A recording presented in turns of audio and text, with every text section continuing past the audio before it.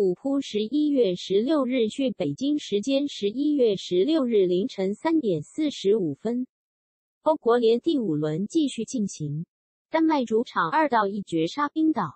开场第十分钟，霍斯禁区内被斯库拉森放倒在地，裁判果断判罚点球，阿里克森主罚点球骗过门将，将皮球打向球门中路入网。丹麦一到零冰岛。第八十三分钟。斯库拉森精准直塞向前，卡尔坦森带球突破至禁区左侧，左脚小角度打门入网。冰岛一到一丹麦。第八十九分钟，鲍尔森禁区右侧头球攻门，造成马格努松手球犯规，裁判果断判罚点球，并对其出示黄牌警告。